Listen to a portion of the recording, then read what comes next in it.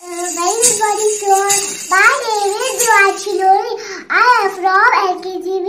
My story name is The Great Elephant. One day, an elephant went down in the jungle in search of food. He saw a monkey on a tree. Elephant said, Will you be my friend? Monkey replied,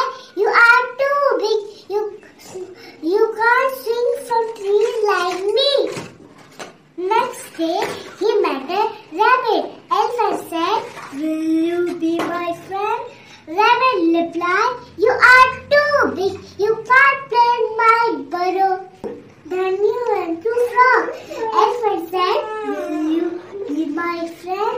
Frog replied, You are too big. You can't leap about like me. A fox appeared. Elephant said, Will you happy to have a friend like me?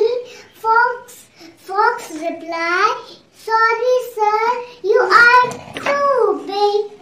Next day, Elephant saw all the animals running for their life.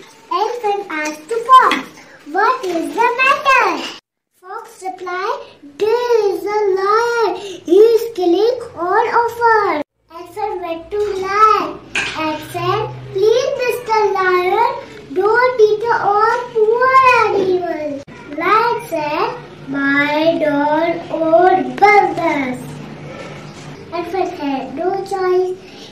gave a hefty kick to Lion.